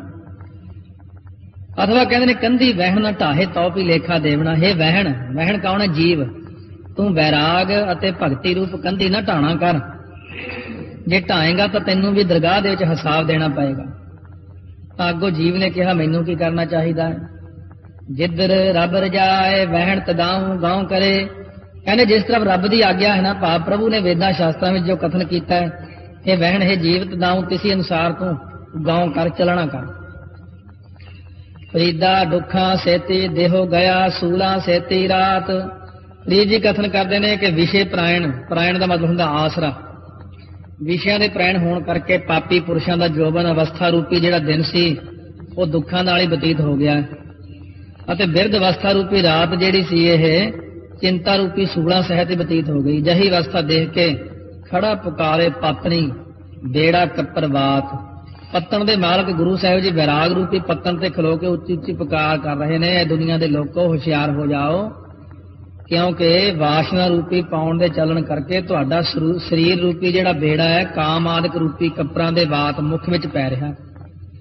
ਜੇ ਕਿ ਤੁਹਾਨੂੰ ਬਚਣੇ ਦੀ ਇੱਛਾ ਹੈ ਸਾਰਿਆਂ ਨੂੰ, ਤਾਂ ਸਤਸੰਗ ਦੁਆਰਾ ਸਿਮਰਨ ਕਰੋ। ਲੰਮੀ ਲੰਮੀ ਨਦੀ ਵਹ ਕੰਦੀ ਕੇਰਾ ਹੇਤ ਕਾਲ ਰੂਪੀ ਲੰਮੀ ਲੰਮੀ ਨਦੀ ਵਗ ਰਹੀ। ਭਾਵ ਚਾਰੋਂ ਦਿਸ਼ਾ ਵਿੱਚ ਕਾਲ ਦਾ ਹੀ ਜ਼ੋਰ ਚੱਲ ਰਿਹਾ। ਹੈ ਫਿਰ ਜਿਸ ਕਾਲ ਰੂਪੀ ਨਦੀ ਦਾ ਸਰੀਰ ਰੂਪੀ ਕੰਧੀ ਦੇ ਢਾਣੇ ਵਿੱਚ ਹਿਤ ਹੈ, ਹੇਤ ਪ੍ਰੇਮ ਹੈ, ਮਾਇਆ ਦੀ ਤ੍ਰਿਸ਼ਨਾ ਰੂਪੀ ਲੰਮੀ ਲੰਮੀ ਨਦੀ ਵਗ ਰਹੀ ਹੈ। ਸਹਸ ਖੱਟੇ, ਲੱਖ ਕੌਠ ਧਾਵੈ, ਤ੍ਰਿਪਤ ਨਾ ਆਵੈ, ਮਾਇਆ ਪਾਛਾ ਪਾਵੈ। ਤਾਂ ਮਹਾਰਾਜ ਕੀ ਫਰਮਾਉਂਦੇ ਨੇ ਤ੍ਰਿਸ਼ਨਾ ਬਿਰਲੇ ਹੀ ਕੀ 부ਝੀ ਹੈ, ਰਹਾਉ ਕੋਟ ਜੋਰੇ ਲੱਖ ਕਰੋਰੇ, ਮਨ ਹੋਰੇ, ਪਰਾ ਪਰਾ ਹੀ ਕੋ ਲੁੱਝੀ ਹੈ। ਜਿਸ ਤ੍ਰਿਸ਼ਨਾ ਰੂਪੀ ਨਦੀ ਦਾ ਸ਼ੁਭ ਗੁਣਾ ਰੂਪੀ ਕੰਧੀ ਦੇ ਢਾਣੇ ਪਰ ਪ੍ਰੇਮ ਹੈ। ਬੇੜੇ ਨੂੰ ਕੱਪਰ ਕਿਆ ਕਰੇ, ਜੇ ਪਾਤਨ ਰਹਿ ਸੁਜੇਤ। ਜੇਕਰ ਗੁਰੂ ਸਾਹਿਬ ਜੀ ਰੂਪੀ ਪਤਨ ਜੋ ਨੇ, ਪਾਤਨ ਕੌਣ ਮਲਾਹ ਹੁੰਦਾ? ਮਲਾਹ ਸੁਚੇਤ ਹੋ ਕੇ ਰਹਿਣ। ਤਾਂ ਇੱਕ ਸਿੱਖ ਦੇ ਸਰੀਰ ਰੂਪ ਬੇੜੇ ਦਾ ਕਾਮ ਆਦਿਕਾਂ ਰੂਪੀ ਕੱਪਰ ਕੀ ਵਿਗਾੜ ਸਕਦੇ ਨੇ, ਨਹੀਂ ਵਿਗਾੜ ਸਕਦੇ ਕੁਝ ਜਿਸ ਤਰ੍ਹਾਂ ਕਲਗੀਧਰ ਪਿਤਾ ਜੀ ਨੇ ਭਾਈ ਜੋਗਾ ਸਿੰਘ ਦੀ ਮਦਦ ਕੀਤੀ, ਕਿਰਪਾ ਕੀਤੀ, ਉਹਦੇ ਉੱਤੇ ਕੋਈ ਵਾਰ ਨਹੀਂ ਚੱਲਿਆ ਵਿਸ਼ਿਆਂ ਵਿਕਾਰਾਂ ਦਾ। ਇਸੇ ਤਰ੍ਹਾਂ ਕਹਿੰਦੇ ਪੂਰਨ ਗੁਰਾਂ ਦੀ ਪ੍ਰਾਪਤੀ ਵਿੱਚ ਦੁਰਲੱਭਤਾ ਵਰਣਨ ਕਥਨ ਕਰਦੇ ਨੇ ਕਿ ਪੂਰਨ ਜਿਹੜੇ ਗੁਰੂ ਹੁੰਦੇ ਨੇ, ਉਹ ਬੜੇ ਔਖੇ ਮਿਲਦੇ ਨੇ। ਅਧੂਰੇ ਗੁਰੂ ਤਾਂ ਬਹੁਤ ਮਿਲ ਜਾਂਦੇ ਲੋਕੀ ਕਹਿੰਦੇ ਬੜਾ ਇਕੱਠ ਸੀ, ਬਹੁਤ ਇਕੱਠ ਸੀ ਉੱਥੇ। ਅਧੂਰੇ ਗੁਰੂਆਂ ਕੋਲੇ। ਉੱਥੇ ਤਾਂ ਆਪੇ ਇਕੱਠ ਹੋਣਾ ਇਕੱਠ ਤਾਂ ਆਪਾਂ ਇੱਥੇ ਵੀ ਕਰ ਸਕਦੇ ਹਾਂ। ਆਪਾਂ ਸਾਰੀਆਂ ਬੰਦਸ਼ਾਂ ਤੋੜਦੀ ਅੱਜ। ਇੱਥੇ ਵੀ ਇਕੱਠ ਹੋਣਾ ਸ਼ੁਰੂ ਹੋ ਜਾਣਾ। ਇਹ ਜਿੱਥੇ ਬੰਦਸ਼ ਹੁੰਦੀ ਹੈ ਉੱਥੇ ਇਕੱਠ ਘੱਟ ਹੁੰਦਾ ਹੈ। ਤੇ ਜਿੱਥੇ ਐਵੇਂ ਬੰਦਸ਼ਾਂ ਸਾਰੀਆਂ ਟੁੱਟੀਆਂ ਹੋਣ, ਉੱਥੇ ਕੋਈ ਇਕੱਠ ਨਹੀਂ। ਲੋਕੀ ਅੱਜ ਕੱਲ ਜ਼ਿਆਦਾਤਰ ਇਕੱਠ ਨੂੰ ਹੀ ਦੇਖ ਕੇ ਖੁਸ਼ ਹੁੰਦੇ ਨੇ ਕਿ ਫਲਾਣੇ ਥਾਂ ਬੜਾ ਇਕੱਠ ਸੀ। ਇਕੱਠ ਤਾਂ ਤੁਸੀਂ ਕੀ ਲੈਣਾ ਇਸ ਕਰਕੇ ਹੀਰੇ ਜਵਾਹਰਾਤ ਆਦਿਕ ਦੀ ਦੁਕਾਨ ਤੇ ਜਿਵੇਂ ਕਿਸੇ ਜੌਹਰੀ ਨੂੰ ਕਿਸੇ ਬੰਦੇ ਨੇ ਪੁੱਛ ਲਿਆ ਸੀ, ਭਾਈ ਮੈਂ ਤੇਰੀ ਦੁਕਾਨ ਦੇ ਕੋਲ ਦੀ ਰੋਜ਼ ਲੰਘਦਾ ਬੈਠਦਾ ਵੀ ਹਾਂ, ਪਰ ਗਾਹਕ ਨਹੀਂ ਕੋਈ ਦੇਖਿਆ ਕਦੇ। ਸੋ ਇਹ, ਮਤਲਬ ਅੱਖੀਂ ਦੇਖਣ ਦੀ ਗੱਲ ਕਿਸੇ ਬੰਦੇ ਨੇ ਸੁਣਾਈ ਬਾਹਰ, ਇਧਰਲੇ ਪਿਸ਼ੌਰ ਵੱਲ ਦੀ। ਪੁਰਾਣੀ ਗੱਲ ਹੈ, ਕਹਿੰਦੇ ਗਾਹਕ ਕੋਈ ਕਦੇ ਨਹੀਂ ਆਇਆ ਦੇਖਿਆ। ਮੈਂ ਤੋ ਇਹ ਗੁਜ਼ਾਰਾ ਕਿਵੇਂ ਚੱਲਦਾ ਤੇਰਾ? ਇੰਨੇ ਨੌਕਰ ਚਾਕਰ ਨੇ, ਇੰਨਾ ਖਰਚਾ ਹੈ। ਉਹ ਹੱਸ ਕੇ ਕਹਿਣ ਲੱਗਿਆ, ਕਹਿੰਦਾ, ਸ਼ਾਹ ਜੀ, ਜੇ ਇੱਕ ਮਹੀਨੇ 'ਚ ਇੱਕ ਗਾਹਕ ਵੀ ਆ ਜਾਏ ਨਾ ਸਾਡਾ, ਬਸ ਸਾਡੇ ਸਾਰੇ ਹੀ ਕੋਟੇ ਪੂਰੇ ਹੋ ਜਾਂਦੇ ਨੇ। ਕਹਿੰਦੇ, ਇਹ ਕੋਈ ਗਾਜਰਾਂ ਮੂਲੀਆਂ ਨਹੀਂ? ਇਹ ਕਿਤੇ ਸਬਜ਼ੀਆਂ ਜਾਂ ਕਿਤੇ ਅਚਾਰ ਤਾਂ ਨਹੀਂ ਖਰੀਦਣਾ ਜਾਂ ਕਿ ਲੂਣ ਮਿਰਚ ਮਸਾਲਾ ਹੈ? ਇੱਥੇ ਤਾਂ ਇੱਕ ਗਾਹਕ ਆ ਗਿਆ, ਕੋਈ ਹੀਰਾ ਵੇਚ ਗਿਆ 50000 ਦਾ, ਕੋਈ 2 ਲੱਖ ਦਾ, ਕੋਈ 3 ਲੱਖ ਦਾ। ਤਾਂ ਸਾਨੂੰ ਉਹਦੇ ਵਿੱਚੋਂ ਹੀ ਲੱਖ ਰੁਪਈਆ ਵੱਜ ਜਾਣਾ। ਤੇ ਗਾਜਰਾਂ ਮੂਲੀ ਵਾਲਿਆਂ ਨੂੰ ਲੱਖ ਬਚਣਾ ਸਾਲ 'ਚ, ਜਾ ਕੇ ਪਤਾ ਨਹੀਂ 2 ਸਾਲਾਂ 'ਚ। ਇਸ ਕਰਕੇ ਜਿੱਥੇ ਵੱਡੇ ਗਾਹਕ ਹੁੰਦੇ ਨੇ, ਉੱਥੇ ਇਕੱਠ ਘੱਟ ਹੀ ਹੁੰਦਾ। ਤੇ ਜਿੱਥੇ ਗਾਜਰਾਂ, ਮੂਲੀਆਂ ਵਿਕਦੀਆਂ ਹੁਣ, ਉੱਥੇ ਤਾਂ ਬਹੁਤ ਜ਼ਿਆਦਾ ਇਕੱਠ ਹੁੰਦਾ। ਤਾਂ ਸਤਿਗੁਰੂ ਮਹਾਰਾਜ ਬਾਰੇ ਕਹਿੰਦੇ ਨੇ, ਫਰੀਦਾ ਗੱਲੀ ਸੋ ਸੱਜਣ ਵੀ ਹੀ ਇੱਕ ਢੁੰਡੇਂਦੀ ਨਾਲ ਹਾਂ। ਫਰੀਦ ਜੀ ਕਥਨ ਕਰਦੇ ਨੇ, ਗੱਲਾਂ ਨਾਲ ਘਰ ਪੂਰਾ ਕਰਨ ਵਾਲੇ ਤਾਂ ਇੱਕ ਦੀ ਬਜਾਏ 20 ਸੱਜਣ ਬਣ ਜਾਂਦੇ ਨੇ। ਗੱਲਾਂ ਨਾਲ ਘਰ ਪੂਰਾ ਕਰਨ ਵਾਲੇ, ਤੁਹਾਨੂੰ 20 ਗੁਰੂ ਮਿਲ ਸਕਦੇ ਨੇ। ਜਿੱਥੇ ਮਰਜ਼ੀ ਗੁਰੂ ਭਾਲ ਲਓ। ਇਹ ਤਾਂ ਹਲੇ ਥੋੜੇ ਨੇ। ਆਓ ਦਸਵੇਂ ਪਾਤਸ਼ਾਹ ਨੂੰ ਪੁੱਛੀਏ, ਮਹਾਰਾਜ ਕਿੰਨੇ ਕੁ ਹੋਣਗੇ? ਮਹਾਰਾਜ ਕਹਿਣ ਲੱਗੇ, ਘਰ ਘਰ ਹੋਏ, ਬਹਿ ਹੈ ਰਾਮਾ, ਤਿੰਨ ਤੇ ਸਾਰਾ ਨਾ ਕਹੂ ਕੰਮ। ਇਹ ਤਾਂ ਘਰ ਘਰ ਦੇ ਵਿੱਚ ਗੁਰੂ ਬਣ ਕੇ ਬੈਠਣੇ ਹਲੇ, ਹਰੇਕ ਘਰ 'ਚ। ਗੁਰੂ ਜ਼ਿਆਦਾ ਤੇ ਚੇਲੇ ਘੱਟ। ਇਸ ਕਰਕੇ ਕਹਿੰਦੇ ਨੇ, ਗੱਲਾਂ ਬਾਤਾਂ ਨਾਲ ਤਾਂ ਸੱਜਣ ਜਿੰਨੇ ਮਰਜ਼ੀ ਬਣਾ ਲਓ, ਗੁਰੂ ਜਿੰਨੇ ਮਰਜ਼ੀ ਧਾਰਨ ਕਰ ਲਓ, ਪਰ ਜਿਸ ਤਰ੍ਹਾਂ ਦਾ ਆਤਮ ਜੀਵਨ ਵਾਲਾ ਸੱਜਣ ਮੈਂ ਢੂੰਡਦੀਆਂ ਉਹ ਇੱਕ ਵੀ ਨਹੀਂ ਲੱਭਦਾ। ਨਾਨਕ ਦੁਨੀਆ ਚਾਰ ਦਿਹਾੜੇ ਸੁਖ ਕੀਤਾ, ਦੁੱਖ ਹੋਈ, ਗੱਲਾਂ ਵਾਲੇ ਹੈਣ ਘਨੇਰੇ, ਛੱਡ ਨਾ ਸਕਾ ਕੋਈ। ਅਤੇ ਗੱਲਾਂ ਕਰਨ ਕਰਕੇ ਤਾਂ ਸਵਰਗ ਦੀ ਪ੍ਰਾਪਤੀ ਵੀ ਨਹੀਂ ਹੁੰਦੀ, ਗੱਲੇ ਭਿਸ ਨਾ ਜਾਈਏ, ਛੁੱਟਾ ਸੱਚ ਕਮਾਏ, ਮਾਰਨ ਪਾਹੇ ਹਰਾਮ, ਮੈਂ ਹੋਏ ਹਲਾਲ ਨਾ ਜਾ ਗੱਲਾਂ ਦੇ ਨਾਲ ਜੇ ਕੋਈ ਬਹਿਸ਼ਤਾ ਨੂੰ ਜਾਵੇ, ਤਾਂ ਫਿਰ ਸਾਰੇ ਚਲੇ ਜਾਣ। ਸੱਚ ਦੀ ਕਮਾਈ ਕੀਤੇ ਜਾਂਦੇ ਨੇ। ਕਹਿੰਦੇ, ਮਾਰਨ ਪਾਹੇ ਹਰਾਮ ਮੈਂ। ਜੇ ਕਿਸੇ ਦਾ ਇਸ ਪ੍ਰਕਾਰ ਕਹਿੰਦੇ ਨੇ, ਕੋਈ ਬੱਕਰਾ ਚੱਕ ਲਿਆ ਕਿਸੇ ਦਾ ਬੱਕਰਾ ਵੱਢ ਕੇ ਉਹਨੇ ਚੰਗੇ ਮਸਾਲੇ ਪਾ ਕੇ ਤਿਆਰ ਕਰ ਲਿਆ। ਕਹਿੰਦਾ ਇਹ ਹਲਾਲ ਦਾ ਬੱਕਰਾ ਖਾ ਰਹੇ ਹਾਂ। ਸਤਿਗੁਰੂ ਜੀ ਨੇ ਉਹ ਸਾਰੀਆਂ ਉਦਾਹਰਨਾਂ ਵਿੱਚ ਦੇ ਦਿੱਤੀਆਂ। ਕੋਈ ਮੁਸਲਮਾਨ ਸੀ ਜਿਹਨੇ ਗੱਲ ਕੀਤੀ। ਮਹਾਰਾਜ ਕਹਿੰਦੇ ਹੁਣ ਚੋਰੀ ਦੀ ਚੀਜ਼ ਚੱਕ ਕੇ ਲਿਆ ਕੇ ਕੋਈ ਖਰਚ ਕਰੋ, ਚਲੋ ਬੱਕਰਾ ਇਹਨਾਂ ਨੇ ਕਿਹਾ, ਆਪਾਂ ਸਬਜ਼ੀ ਕਹਿ ਲਓ ਵੀ ਸਬਜ਼ੀ ਕੋਈ ਬੰਦਾ ਕਿਸੇ ਦੁਕਾਨਦਾਰ ਦੀ ਚੋਰੀ ਕਰ ਲਿਆ ਆ। ਸਬਜ਼ੀ ਤਾਂ ਚੱਕ ਲਿਆਂਦੀ 20 ਰੁਪਏ ਦੀ। ਤੇ ਜਿਹੜਾ ਗਰਮ ਮਸਾਲਾ ਸੀ ਰਸਤੇ ਚੋਂ 2 ਰੁਪਏ ਦਾ ਮਸਾਲਾ 2 ਰੁਪਏ ਦਾ ਲੂਣ ਲਿਆ ਤੇ ਇਹ ਦੋ ਚਾਰ ਚੀਜ਼ਾਂ ਲਈਆਂ। ਸਬਜ਼ੀ ਵਧੀਆ ਚੁੱਕ ਲਿਆਂਦੀ ਤੇ ਉਹ ਲਿਆ ਕੇ ਘਰੇ ਬਣਾਈ ਤੇ ਉਹਨੂੰ ਕੋਈ ਕਹੇ ਵੀ ਇਹ ਹੱਕ ਦੀ ਸਬਜ਼ੀ ਖਾ ਰਿਹਾ ਮੈਂ, ਉਹ ਹੱਕ ਦੀ ਤਾਂ ਨਹੀਂ। ਕਹਿੰਦਾ, ਹੱਕ ਦੀ ਕਿਵੇਂ ਹੋਗੀ ਕਹਿੰਦਾ, ਮਸਾਲੇ ਮੇਰੇ ਨੇ। ਮਸਾਲੇ ਪਾਉਣ ਨਾਲ ਹੱਕ ਦੀ ਸਬਜ਼ੀ ਨਹੀਂ ਬਣ ਜਾਂਦੀ। ਤਾਂ ਸਤਿਗੁਰੂ ਕਹਿੰਦੇ, ਮਾਰਨ ਪਾਹੇ ਹਰਾਮ ਮਹਿ। ਹਰਾਮ ਦੀ ਚੀਜ਼ ਦੇ ਵਿੱਚ ਮਾਰਨ ਤੋਂ ਭਾਵ ਮਸਾਲੇ ਪਾ ਕੇ ਹੋਏ ਹਲਾਲ ਨਾ ਜਾਏ। ਉਹ ਹਲਾਲ ਦੀ ਤਾਂ ਨਹੀਂ ਬਣ ਜਾਂਦੀ ਹੈ। ਸੰਸਾਰਕ ਗੱਲਾਂ ਕਰਕੇ ਤਾਂ ਪਰਮੇਸ਼ਰ ਪਤੀ ਵੀ ਨਹੀਂ ਮਿਲਦਾ। ਨੰਨਾ ਨਾ ਭੋਗ ਨਿਤ ਭੋਗਾ, ਨਾ ਡੀਠਾ ਨਾ ਸੰਮਲਿਆ ਗੱਲੀ ਹਾਂ ਸੁਹਾਗਣ ਭੈਣੇ, ਕੰਤ ਨਾ ਕਬੂ ਮੈਂ ਮਿਲਿਆ, ਪਰਮਾਤਮਾ ਦੀ ਪ੍ਰਾਪਤੀ ਨਹੀਂ ਹੋਈ। ਧੁਖਾਂ ਜਿਉ ਮਾਲੇ ਹੀ ਕਾਰਨ ਤਿਨਾ ਮਾ ਪਰੇ। ਮਾਂ ਪੇਰੀ ਤੋਂ ਭਾਵ ਮੇਰਾ ਪਤੀ ਜੋ ਪਰਮਾਤਮਾ ਹੈ, ਤਿਸ ਦੀ ਪ੍ਰਾਪਤੀ ਵਾਸਤੇ ਮੈਂ ਵਿਜੋਗਣ ਮਾਂ ਲਈ ਗੋਹਿਆਂ ਦੀ ਭੋਰ ਵਾਂਗੂ, ਮਾਂ ਲਈ ਤੋਂ ਭਾਵ ਬੱਕਰੀਆਂ ਦੀ ਸੁੱਕੀਆਂ ਮੇਂਗਣਾ ਵਾਂਗੂ ਧੁਖਦੀ ਪਈਆਂ ਮੈਂ ਤਾਂ ਹਰ ਵਕਤ। ਤੋ ਕਿਸੇ ਵਿਸ਼ਈ ਪੁਰਸ਼ ਨੇ ਸੰਸਾਰਕ ਸੁੱਖਾਂ ਦੀ ਤਾਰੀਫ ਕਰਦਿਆਂ ਹੋਇਆਂ ਫਰੀਦ ਜੀ ਨੂੰ ਕਿਹਾ ਉਹ ਫਕੀਰ ਸਾਈਆਂ, ਤੂੰ ਸੰਸਾਰ ਦਾ ਕੀ ਦੇਖਿਆ? ਤੂੰ ਤਾਂ ਆਪਣੀ ਉਮਰ ਤਪ ਕਰਦੇ ਗਵਾ ਲਈ। ਐਵੇਂ ਘਾਹ ਫੂਸ ਖਾਈ ਜਾਂਦਾ। ਕਦੇ ਸਵਾਦ ਵੀ ਲਿਆ ਦੁਨੀਆ ਦੇ ਪਦਾਰਥਾਂ ਦਾ। ਇਹ ਗੱਲ ਸੁਣ ਕੇ ਫਰੀਦ ਜੀ ਉਹਨੂੰ ਉੱਤਰ ਦਿੰਦਿਆਂ ਹੋਇਆਂ ਸਮਝਾਉਂਦੇ ਨੇ, ਫਰੀਦਾ, ਇਹੋ ਤਨ ਭੌਂਕਣਾ। ਨਿਤ ਨਿਤ ਦੁਖੀਆ ਕੌਣ? ਫਰੀਦ ਜੀ ਕਥਨ ਕਰਦੇ ਨੇ, ਪਦਾਰਥਾਂ ਦੇ ਲੱਭ ਕਰਕੇ ਇਹ ਤਨ ਤਾਂ ਨਿਤਾ ਪ੍ਰਤੀ ਕੁੱਤੇ ਵਾਂਗੂ ਭੌਂਕਦਾ ਹੀ ਰਹਿੰਦਾ। ਮੈਂ ਆਹ ਖਾਣਾ ਮੈਂ ਆਹ ਖਾਣਾ ਮੈਂ ਆਹ ਖਾਣਾ ਇਹ ਤਾਂ ਭੌਂਕਦਾ ਹੀ ਰਹਿੰਦਾ ਹਰ ਵਕਤ। ਕੁੱਤੇ ਦੀ ਤਰ੍ਹਾਂ ਇਹ ਹਮੇਸ਼ਾ ਲੱਭ ਕਰਦਾ ਖਾਣ ਦਾ। ਇਸ ਨਕੰਮੇ ਸਰੀਰ ਦੇ ਮੰਗਰ ਲੱਗ ਕੇ ਨੇਤਾ ਪ੍ਰਤੀ ਕੌਣ ਦੁਖੀ ਹੋਵੇ? ਇਹਨੂੰ ਤਾਂ ਇੱਕ ਚੀਜ਼ ਖਵਾ ਦਿਓ, ਰਾਜਦਾ ਤਾਂ ਨਹੀਂ ਇਹ। ਫਿਰ ਦੂਜੀ ਮੰਗਦਾ, ਫਿਰ ਤੀਜੀ ਮੰਗਦਾ, ਫਿਰ ਚੌਥੀ ਚੀਜ਼ ਮੰਗਦਾ। ਕੋਈ ਕਹੇ ਕਿ ਮੈਂ ਅੱਜ ਰੱਜ ਗਿਆ ਹਾਂ, ਨਹੀਂ ਰੱਜਦਾ ਕੋਈ। ਸੋ ਇਸ ਕਰਕੇ ਕਹਿੰਦੇ ਕੰਨੀ ਬੁੱਝੇ ਦੇ ਰਹਾ ਕਿਤੀ ਵਗੈ ਪਾਉਣ। ਚਾਹੇ ਕਿਤਨੀਆਂ ਹੀ ਵਿਸ਼ੇ ਵਾਸ਼ਨਾ ਰੂਪੀ ਪਾਉਣਾ ਵਗਣ, ਪਰ ਮਨੁੱਖ ਨੂੰ ਚਾਹੀਦਾ ਕਿ ਆਪਣੇ ਕੰਨਾਂ ਵਿੱਚ ਵੈਰਾਗ, ਵਿਵੇਕ, ਸਮ ਦਾ ਪ੍ਰੂਪ, ਇੱਕ ਸਮ ਅਤੇ ਦਮ ਦੋ ਹੁੰਦੇ ਨੇ ਨਾ। ਮਨ ਨੂੰ ਰੋਕਣਾ, ਇੰਦਰੀਆਂ ਨੂੰ ਰੋਕਣਾ। ਕਹਿੰਦੇ ਇਹਨਾਂ ਦੇ ਕੰਨਾਂ ਦੇ ਵਿੱਚ ਬੁੱਝੇ ਪਾ ਲਵਾਂ ਸਮ, ਦਮ ਰੂਪ ਬੁੱਝੇ ਪਾ ਕੇ ਚੁੱਪ ਕਰਕੇ ਬੈਠ ਜਾਵਾਂ, ਰੂਹ ਪਾ ਲਵਾਂ ਕੰਨਾਂ 'ਚ। ਮੈਂ ਇਹਨਾਂ ਸਰੀਰ ਦੀ ਤਾਂ ਗੱਲ ਹੀ ਨਾ ਸੁਣਾ। ਇਹਨੂੰ ਤਾਂ ਸਿਰਫ ਮੈਂ ਦਾਲ ਤੇ ਰੋਟੀ ਦੇਵਾਂ, ਅਥਵਾ ਇਹਨੂੰ ਕੱਲੀ ਰੋਟੀ ਦੇਵਾਂ ਨੂਨ ਨਾਲ। ਵੀ ਇਹੀ ਖਾਈ ਚੱਲ।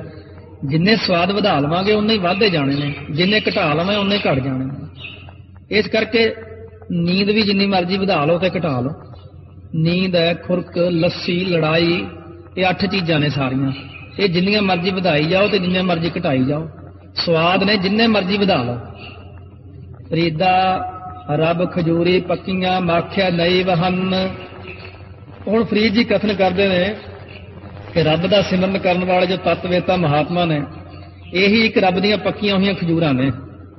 ਕਿਉਂਕਿ ਅਰਬ ਦੇਸ਼ ਦਾ ਰਾਜਾ ਜਿਹੜਾ ਸੀ ਨਾ, ਉਹ ਇਸ ਪ੍ਰਕਾਰ ਉਹਨਾਂ ਦੇ ਅਰਬ ਦੇ ਇਲਾਕੇ ਵਿੱਚ ਤੁਰੀਆ ਅਵਸਥਾ ਇਹ ਜਿਹੜੀਆਂ ਸਾਰੀਆਂ ਖਜੂਰਾਂ ਪੱਕੀਆਂ ਦੀ ਗੱਲ ਕਰਦੇ ਨੇ, ਖਜੂਰਾਂ ਉਸ ਇਲਾਕੇ ਵਿੱਚ ਬਹੁਤ ਮਸ਼ਹੂਰ ਨੇ। ਤੋ ਇਸ ਕਰਕੇ ਅਰਬ ਦੇ ਰਾਜਿਆਂ ਨੂੰ ਜਦੋਂ ਵੀ ਕੋਈ ਭੇਟਾ ਦਿੰਦਾ ਜਾਂ ਉਧਰਲੇ ਪੀਰਾਂ ਨੂੰ ਭੇਟਾ ਦਿੰਦੇ, ਉਧਰ ਖਜੂਰ ਨੂੰ ਪਵਿੱਤਰ ਮੰਨ ਕੇ ਦਿੰਦੇ ਨੇ। ਤੋ ਇਸ ਕਰਕੇ ਕਹਿੰਦੇ ਨੇ ਕਿ ਪੱਕੀਆਂ ਹੋਈਆਂ ਖਜੂਰਾਂ ਨੇ ਰੱਬ ਦੇ ਪਿਆਰੇ। ਤੁਰੀਆ ਅਵਸਥਾ ਜਿਹੜੀ ਹੈ, ਚੌਥੀ ਭੂਮਿਕਾ ਵਿੱਚ ਜੋ ਪੱਕ ਹੋਣਾ ਹੈ, ਜੋ ਪੱਕੇ ਹੋਣਾ ਹੈ, ਇਹੀ ਮਹਾਤਮਾ ਰੂਪੀ ਖਜੂਰਾਂ ਦਾ ਪੱਕਣਾ ਹੈ। ਅਤੇ ਜਿਨ੍ਹਾਂ ਵਿੱਚ ਆਤਮਾਨੰਦ ਰੂਪੀ ਰਸ ਭਰਿਆ ਹੋਇਆ ਹੈ। ਜਿਨ੍ਹਾਂ ਮਹਾਤਮਾ ਪਾਸ ਸਾਧ ਸੰਗਤ ਵਿੱਚ ਨਾਮ, ਸਿਮਰ, ਕਥਾ, ਕੀਰਤਨ, ਰੂਪ ਮੱਖਿਆ ਸ਼ਹਿਦ ਦੀ ਜਿਹੜੀ ਹੈ, ਉਹ ਨਦੀ ਵਗ ਰਹੀ ਹੈ। ਜੋ ਜੋ ਵੰਜੈ ਡੀਹੜਾ, ਸੋ ਉਮਰ ਹੱਥ ਪਵਨ। ਕਹਿੰਦੇ ਜਿਹੜਾ ਜਿਹੜਾ ਡੀੜਾ ਡੀੜਾ ਤੋਂ ਭਾਵ ਹੁੰਦਾ ਦਿਨ।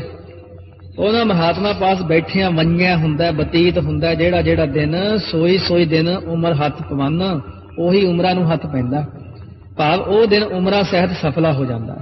ਇਸ ਲਈ ਹਰ ਮਨੁੱਖ ਨੂੰ ਸਾਰੇ ਕੰਮ ਛੱਡ ਕੇ ਵੀ ਸੰਤਾਂ ਦੀ ਸੰਗਤ ਕਰਨੀ ਚਾਹੀਦੀ। ਕਬੀਰ ਏਕ ਘੜੀ, ਆਦੀ ਘੜੀ, ਆਦੀ ਹੂੰ ਤੇ ਆਦ, ਭਗਤਨ ਸੇਤੀ ਗੋਸਤੇ, ਜੋ ਕੀਨੇ ਸੋ ਲਾਭ। ਫਰੀਦ ਜੀ ਨੂੰ ਖੂਹ ਵਿੱਚ ਲੰਮ ਕੇ ਤਪ ਕਰਦਿਆਂ ਕਾਫੀ ਸਮਾਂ ਗੁਜ਼ਰ ਗਿਆ, ਜਿਸ ਤੇ ਸਰੀਰ ਸੁੱਕ ਕੇ ਪਿੰਜਰੇ ਵਾਂਗੂ ਹੋ ਗਿਆ। ਅਤੇ ਸਰੀਰ ਨੂੰ ਬੇਜਾਨ ਸਮਝ ਕੇ ਕਾਵਾਂ ਨੇ ਪੈਰਾਂ ਦੀਆਂ ਤਲੀਆਂ ਉੱਪਰ ਠੁੰਗੇ ਮਾਰਨੇ ਸ਼ੁਰੂ ਕਰ ਦਿੱਤੇ। ਉਸ ਵੇਲੇ ਅਫਸੋਸ ਵਿੱਚ ਇਹ ਸ਼ਲੋਕ ਉਚਾਰਨ ਕੀਤਾ ਹੈ, ਫਰੀਦਾ ਤਨ ਸੁੱਕਾ ਪਿੰਜਰ ਥੀਆ, ਤਲੀਆਂ ਖੁੰਡਾ ਹੈ ਕਾਗ। ਫਰੀਦ ਜੀ ਕਥਨ ਕਰਦੇ ਨੇ, ਖੁਦਾ ਦੇ ਪ੍ਰੇਮ ਦੇ ਵਿਛੋੜੇ ਕਰਕੇ ਸਰੀਰ ਸੁੱਕ ਕੇ ਪਿੰਜਰ ਵਾਂਗੂ ਹੋ ਗਿਆ। ਮੈਨੂੰ ਮੁਰਦਾ ਸਮਝ ਕੇ ਕਾਂ ਜਿਹੜੇ ਨੇ ਉਹ ਪੈਰਾਂ ਦੀਆਂ ਤਲੀਆਂ ਪਰ ਠੁੰਗੇ ਮਾਰਨ ਲੱਗ ਪਏ ਨੇ। ਅਥਵਾ ਕੀ ਕਹਿੰਦੇ ਨੇ, ਜਿਹੜਾ ਤਨ ਸੂਖਮ ਸਰੀਰ ਸੁੱਕ ਕੇ ਪਿੰਜਰੇ ਵਾਂਗੂ ਹੋ ਗਿਆ। ਭਾਵ ਮੇਰੀ ਬੁੱਧੀ ਜਿਹੜੀ ਸੀ ਉਹ ਵਿਆਕਲ ਹੋ ਗਈ ਹੈ ਤੇ ਤਲੀਆਂ ਜਿਹੜੀਆਂ ਸੀ, ਕੌਣ? ਇੰਦਰੀਆਂ। ਅੰਤಃਕਰਨ ਦੀਆਂ ਬਿਰਤੀਆਂ ਨੂੰ ਕਾਮ ਆਦਿਕ ਰੂਪੀ ਜਿਹੜੇ ਕਾਂ ਸੀ ਨਾ, ਖੁੰਡੇ ਠੁੰਗੇ ਮਾਰਦੇ ਨੇ, ਆਪਣੀ ਤਰਫ ਖਿੱਚਦੇ ਨੇ। ਅਜਾ ਸੋ ਰੱਬ ਨਾ ਬਾਹੜਿਓ, ਦੇਖ ਬੰਦੇ ਕੇ ਭਾਗ। ਦੇਖੋ ਬੰਦੇ ਦੇ ਐਸੇ ਖੋਟੇ ਭਾਗ ਨੇ ਕਿ ਅਜੇ ਤੱਕ ਰੱਬ ਨਹੀਂ ਪਹੁੰਚਿਆ। ਮੈਨੂੰ ਪੁੱਠੇ ਲਟਕਦੇ ਨੂੰ ਇੰਨੇ ਸਾਲ ਹੋ ਗਏ ਕਹਿੰਦੇ। ਤੋ ਇਹਨੇ ਨੂੰ ਕਾਂ ਉੱਡ ਕੇ ਫਰੀਜ ਦੀਆਂ ਅੱਖਾਂ ਉੱਪਰ ਵੀ ਆ ਬੈਠੇ, ਇਹ ਦੇਖ ਕੇ ਫਿਰ ਸ਼ਲੋਕ ਉਚਾਰਨ ਕੀਤਾ ਹੈ, ਕਾਗਾ ਕਰੰਗ ਢੰਡੋਲਿਆ ਸਗਲਾ ਖਾਇਆ ਮਾਸ। ਇਹ ਕਾਮੋ ਤੁਸੀਂ ਤਾਂ ਮੇਰੇ ਕਰੰਗ ਸਰੀਰ ਨੂੰ ਢੰਡੋਲਿਆ ਚੁਣ ਚੁਣ ਕੇ ਸਾਰਾ ਮਾਸ ਹੀ ਖਾ ਲਿਆ। ਪਰ ਇਹ ਦੋਏ ਨੈਣਾ ਮਤ ਛੋਹੋ, ਫਿਰ ਦੇਖਣ ਕੀ ਆਸ। ਇਹ ਕਾਮੋ ਇਹਨਾਂ ਦੋਨਾਂ ਨੇਤਰਾਂ ਨੂੰ ਮਤ ਸੋਹਣਾ ਕਰੋ, ਕਿਉਂਕਿ ਇਹਨਾਂ ਦੋਹਾਂ ਅੱਖਾਂ ਨੂੰ ਨਾ ਖਾਣਾ ਕਰੋ। ਮੈਨੂੰ ਆਪਣੇ ਪਿਰੀ ਪ੍ਰਮਾਤਮਾ ਦੇ ਦਰਸ਼ਨਾਂ ਦੀ ਬੜੀ ਆਸਾ ਲੱਗ ਰਹੀ ਹੈ। ਅੰਤਰੀਵ ਭਾਵ ਵਿੱਚ ਕਹਿੰਦੇ ਨੇ, ਕਾਗਾ ਕਰੰਗ ਢੰਡੋਲਿਆ। हे ਕਾਮ ਆਦਿਕ ਰੂਪੀ ਕਾਮੋ, ਤੁਸਾਂ ਨੇ ਇਕੱਠਿਆਂ ਹੋ ਕੇ ਮੇਰੇ ਹਿਰਦੇ ਰੂਪੀ ਸਰੀਰ ਵਿੱਚੋਂ ਢੂੰਡ ਕੇ ਸਗਲਾ ਖਾਇਆ ਮਾਸ। ਸਾਰਾ ਹੀ ਸ਼ੁਭ ਗੁਣਾ ਰੂਪੀ ਮਾਸ ਖਾ ਲਿਆ। ਇਹ ਦੋਏ ਨੈਣਾ ਮਤ ਛੋਹੋ। ਇਹਨਾਂ ਗਿਆਨ ਵੈਰਾਗ ਰੂਪੀ ਦੋਹਾਂ ਨੇਤਰਾਂ ਨੂੰ ਮਤ ਛੋਣਾ ਕਰੋ, ਕਿਉਂਕਿ ਫਿਰ ਦੇਖਣ ਕੀ ਆਸ ਮੇਰੇ ਮਨ ਵਿੱਚ ਇਹਨਾਂ ਅੱਖਾਂ ਦੁਆਰੇ ਵਾਹਿਗੁਰੂ ਦੇ ਦੇਖਣ ਦੀ ਆਸਾ ਲੱਗ ਰਹੀ ਹੈ। ਮਨ ਬੁੱਧ ਰੂਪੀ ਨੇਤਰਾਂ ਨੂੰ ਮਤ ਛੋਣਾ ਕਰੋ। ਕਿਉਂਕਿ ਜੇ ਮਨ ਬੁੱਧ ਤੇ ਬੁੱਧੀ ਪਵਿੱਤਰ ਹੋਵੇਗੀ ਤਾਈਓ ਮੇਰਾ ਪਿਰੀ ਦਾ ਦਰਸ਼ਨ ਹੋਵੇਗਾ ਮੈਨੂੰ। ਮਨ ਸ਼ੁੱਧ ਹੋਵੇ ਤੇ ਬੁੱਧੀ ਪਵਿੱਤਰ ਹੋਵੇ, ਤਾਂ ਵਾਹਿਗੁਰੂ ਦੇ ਦਰਸ਼ਨ ਹੋਣ। ਇੰਨੇ ਨੂੰ ਇੱਕ ਕਾਂ ਢਿੱਡ ਤੇ ਆ ਕੇ ਚੁੰਝਾ ਮਾਰਨ ਲੱਗ ਪਿਆ। ਇਹ ਦੇਖ ਕੇ ਫਰੀਦ ਜੀ ਕਹਿੰਦੇ, ਕਾਗਾ ਚੂੰਡ ਨਾ ਪਿੰਜਰਾ, ਬਸਾ ਤਾਂ ਉਡਰ ਜਾਹੇ। ਇਹ ਕਾਂ ਮੇਰੇ ਸਰੀਰ ਰੂਪੀ ਪਿੰਜਰੇ ਨੂੰ ਨਾ ਚੂੰਡ। ਖਾਣਾ ਨਾ ਕਰ। ਜੇ ਤੂੰ ਆ ਕੇ ਬੈਠਾ ਹੈ ਤਾਂ ਤੂੰ ਇੱਥੋਂ ਉੱਡ ਜਾ ਉੱਡ ਜਾ ਮੇਰੇ ਪਾਸੋਂ। ਜਿਤ ਪਿੰਜਰਾ ਮੇਰਾ, ਸੌ ਵਸੈ ਮਾਸ ਨਾ ਤਿੱਦੂ ਖਾਹੇ। ਜਿਸ ਸਰੀਰ ਪਿੰਜਰੇ ਵਿੱਚ ਮੇਰਾ ਪਤੀ ਪ੍ਰਮਾਤਮਾ ਵਸ ਰਿਹਾ ਹੈ ਇਸ ਵਿੱਚੋਂ ਮਾਸ ਨਾ ਖਾਣਾ ਕਰ ਕਾਗਾ ਚੂੰਡਨਾ ਪਿੰਜਰਾ ਇਹ ਕਾਮ ਆਦਿਕ ਰੂਪ ਕਾਮੋ ਇਹ ਸੂਖਮ ਸਰੀਰ ਰੂਪ ਪਿੰਜਰੇ ਬੁੱਧੀ ਨੂੰ। ਚੂੰਡ, ਚੂੰਡਣ ਤੋਂ ਭਾਵ ਦੁੱਖ ਨਾ ਦੇਣਾ ਕਰੋ। ਕਿਉਂਕਿ ਬਸਾ ਤਾਂ ਉੱਡਰ ਜਾਹੇ, ਜੇਕਰ ਤੁਸੀਂ ਇਸ ਵਿੱਚ ਵਸਦੇ ਹੋ ਤਾਂ ਉੱਡ ਜਾਓ। ਜਿਤ ਪਿੰਜਰਾ ਮੇਰਾ ਸਹ ਵਸੈ, ਜਿਸ ਸੂਖਮ ਸਰੀਰ ਰੂਪ ਪਿੰਜਰੇ ਬੁੱਧੀ ਵਿੱਚ ਮੇਰਾ ਪਤੀ ਮਾਲਕ ਵਸਦਾ ਹੈ, ਮਾਸ ਨਾ ਤਿੱਦੂ ਖਾਹੇ। ਤਿੱਥੋਂ ਤੁਸੀਂ ਸ਼ੁਭ ਗੁਣਾ ਰੂਪੀ ਮਾਸ ਨੂੰ ਖਾਣਾ ਨਾ ਕਰੋ। ਫਰੀਦਾ ਗੋਰ ਨਿਮਾਣੀ ਛੱਡ ਕਰੇ, ਨੇ ਘਰਿਆ ਕਰਿਆ ਫਰੀਦ ਕਥਨ ਕਰਦੇ ਨੇ, ਨਿਮਾਣੀ ਜਿਹੜੀ ਗੋਰ ਕਬਰ ਹੈ, ਇਉਂ ਛੱਡ ਕਰਦੀ ਸਦਨਾ ਕਰਦੀ। ਗੌਰ ਕਬਰ ਨੂੰ ਨਿਮਾਣੀ ਇਸ ਵਾਸਤੇ ਕਿਹਾ ਜੇ ਪੁੱਟਣ ਲੱਗਿਆਂ ਕਈਆਂ ਗਿਣਤੀਆਂ ਨੂੰ ਸਹਾਰਦੀ ਹੋਈ, ਪੁੱਟਣ ਵਾਲੇ ਨੂੰ ਕੁਝ ਨਹੀਂ ਕਹਿੰਦੀ। ਉਹ ਜਿਹੜੀ ਕਬਰ ਹੈ ਕਹਿੰਦੇ ਬੁਲਾਉਂਦੀ ਹੈ ਸਾਨੂੰ ਕਿ ਹੇ ਨਿਘਰਿਆ ਘਰਾਂ ਤੋਂ ਰਹਿਤ ਪੁਰਸ਼ੋ ਤੁਸੀਂ ਅਸਲ ਘਰ ਕਬਰਾਂ ਦੇ ਵਿੱਚ ਆਉਣਾ ਕਰੋ। ਨਿਮਾਣੀ ਦੇਹ ਨੂੰ ਗੋਰ ਕਬਰ ਜਿਹੜੀ ਸਦਨਾ ਕਰਦੀ ਕਿ ਹੇ ਨਿਘਰੀਏ ਤੂੰ ਮੇਰੇ ਘਰ ਵਿੱਚ ਆਉਣਾ ਕਰ, ਕਿਉਂਕਿ ਸਰ ਪਰ ਮੈਥੇ ਆਵਣਾ, ਮਰਨ ਹੋਣਾ ਡਰਿਆ ਕਹਿੰਦੇ ਤੂੰ ਮੈਥੇ ਸਰ ਪਰ ਆਉਣਾ ਹੈ। ਭਾਵ ਜ਼ਰੂਰ ਹੀ ਮੇਰੇ ਪਾਸ ਆ ਜਾਣਾ ਇੱਕ ਦਿਨ ਤੋਂ। ਮੇਰੇ ਵਿੱਚ ਹੀ ਆ ਕੇ ਡਿੱਗਣਾ ਨਾ। ਇਸ ਲਈ ਤੂੰ ਮਰਨ ਤੋਂ ਬਿਲਕੁਲ ਨਾ ਡਰਨਾ ਕਰ। ਇਨੀ ਲੋਇਣੀ ਦੇਖਦਿਆਂ ਕੇਤੀ ਚੱਲ ਗਈ। ਇਹਨਾਂ ਅੱਖਾਂ ਨਾਲ ਦੇਖਦਿਆਂ ਦੇਖਦਿਆਂ ਕਿੰਨੀ ਹੀ ਦੁਨੀਆ ਚਲੀ ਗਈ, ਮਰ ਖਪ ਗਈ, ਸੰਸਾਰ ਦੇ ਲੋਕ ਖਤਮ ਹੋ ਗਏ। ਫਰੀਦਾ ਲੋਕਾਂ ਆਪੋ ਆਪਣੀ, ਮੈਂ ਆਪਣੀ ਪਈ। ਲੀਜ ਜੀ ਕਥਨ ਕਰਦੇ, ਲੋਕਾਂ ਤੋਂ ਆਪੋ ਆਪਣੀ ਪਈ ਹੋਈ ਹੈ ਸਾਰਿਆਂ ਨੂੰ। ਕੋਈ ਕਹਿੰਦਾ ਕਿ ਮੈਂ ਆਪਣਾ ਮੁੰਡੇ ਦਾ ਵਿਆਹ ਕਰ ਲਵਾਂ, ਕੋਈ ਕਹਿੰਦਾ ਮੈਂ ਫਲਾਣਾ ਵਪਾਰ ਕਰ ਲਵਾਂ, ਮੈਨੂੰ ਲਾਭ ਹੋ ਜਾਏ ਕੋਈ ਕਹਿੰਦਾ ਮੈਂ ਧਨ ਨੂੰ ਇਉਂ ਸਾਂਭ ਲਵਾਂ। ਕੋਈ ਕਹਿੰਦਾ ਦੁਨੀਆ ਵਿੱਚ ਮੇਰਾ ਨਾਮ ਰੋਸ਼ਨ ਹੋਵੇ, ਮੈਨੂੰ ਆਪਣੀ ਚਿੰਤਾ ਪਈ ਕਿ ਇਸੇ ਜਨਮ ਵਿੱਚ ਖੁਦਾ ਨੂੰ ਮਿਲ ਪਾਵਾਂ। ਲੋਕਾਂ ਆਪੋ ਆਪਣੀ ਤੇ ਮੈਂ ਆਪਣੀ ਪਈ। ਮੈਨੂੰ ਤੇ ਪ੍ਰਮਾਤਮਾ ਦੇ ਮਿਲਣ ਦੀ ਇੱਛਾ ਹੋ ਰਹੀ ਹੈ ਤੇ ਲੋਕ ਜਿਹੜੇ ਉਹ ਆਪਣੇ ਕੰਮਾਂ 'ਚ ਹੀ ਭੱਜੇ ਫਿਰਦੇ ਨੇ। ਤੋ ਇਸ ਤਰ੍ਹਾਂ ਦੇ ਨਿਮਰਤਾ ਦੇ ਵਚਨ ਸੁਣਾ ਕੇ ਖੁਦਾ ਨੇ ਆਕਾਸ਼ਬਾਣੀ ਦੁਆਰਾ ਕਿਹਾ, ਆਪ ਸਵਾਰ ਹੈ, ਮੈਂ ਮਿਲ ਹੈ, ਮੈਂ ਮਿਲਿਆ, ਸੁਖ ਹੋਏ। ਇਹ ਫਰੀਦ ਜੇ ਤੂੰ ਆਪਣੇ ਆਪ ਨੂੰ ਸਵਾਰੈ, ਸਵਾਰ ਲਵੇਂ, ਭਾਵ ਆਪਣੇ ਮਨ ਬੁੱਧ ਨੂੰ ਸ਼ੁੱਧ ਕਰ ਲਵੇਂਗਾ ਨਾ, ਤਾਂ ਮੈਨੂੰ ਮਿਲ ਪਵੇਂਗਾ ਤੇ ਮੇਰੇ ਮਿਲਣੇ ਕਰਕੇ ਸੁੱਖਾਂ ਦੀ ਪ੍ਰਾਪਤੀ ਹੋਣੀ ਹੈ ਤੈਨੂੰ। ਆਪਣੇ ਆਪ ਨੂੰ ਸਵਾਰ। ਫਰੀਦਾ, ਜੇ ਤੂੰ ਮੇਰਾ ਹੋਏ ਰਹਾ ਹੈ, ਸਭ ਜਗ ਤੇਰਾ ਹੋਏ। ਤਾਂ ਕਹਿੰਦੇ, ਫਰੀਦ, ਜੇ ਤੂੰ ਮੇਰਾ ਪੂਰਾ ਪੂਰਾ ਉਪਾਸ਼ਕ ਹੋ ਜਾਵੇਂ, ਭਾਵ ਜੇ ਤੂੰ ਆਪਣੇ ਮਨ ਨੂੰ ਮੇਰੇ ਵੱਲੋਂ ਨਾ ਡੁਲਾਵੇਂ, ਤਾਂ ਸਾਰਾ ਜਗਤ ਹੀ ਤੇਰਾ ਦਾਸ ਹੋ ਜਾਵੇਗਾ। ਮੇਰੇ ਨਾਲ ਜੋੜ ਆਪਣੇ ਆਪ ਨੂੰ, ਸ਼ੁੱਧ ਕਰ ਆਪਣੇ ਆਪ ਨੂੰ। ਇਸ ਪ੍ਰਕਾਰ ਇਹ 95 ਸ਼ਲੋਕਾਂ ਤੱਕ ਪਵਿੱਤਰ ਉਪਦੇਸ਼ ਦੀ ਦਾਤ ਭਗਤ ਫਰੀਦ ਜੀ ਨੇ ਆਪਾਂ ਨੂੰ ਬਖਸ਼ਿਸ਼ ਕੀਤੀ ਹੈ। ਪਵਿੱਤਰ ਉਪਦੇਸ਼ ਜੋ ਆਪਾਂ ਨੂੰ ਪ੍ਰਾਪਤ ਹੋਇਆ ਸੁੰਦਰ ਉਪਦੇਸ਼, ਇਹ ਵਿਰਾਗ ਦਾ ਉਪਦੇਸ਼ ਹੈ। ਸੋ ਇਹਦੇ ਨਾਲ ਨਾਲ ਹੀ ਹੁਣ ਕੱਲ ਨੂੰ ਸੰਗਰਾਮ ਦਾ ਵੀ ਦਿਹਾੜਾ ਹੈ। ਇਸ ਕਰਕੇ ਕੱਲ ਸੰਗਰਾਮ ਦੇ ਦਿਹਾੜੇ ਤਾਂ ਫਿਰ ਮਹੀਨੇ ਦੀ ਕਥਾ ਹੋਵੇਗੀ। ਫਿਰ ਪਰਸੋਂ ਤੋਂ ਜਾ ਕੇ ਆਪਾਂ ਭਗਤ ਫਰੀਦ ਜੀ ਦੇ ਸ਼ਲੋਕਾਂ ਨੂੰ ਸ਼ਰਵਣ ਕਰਾਂਗੇ।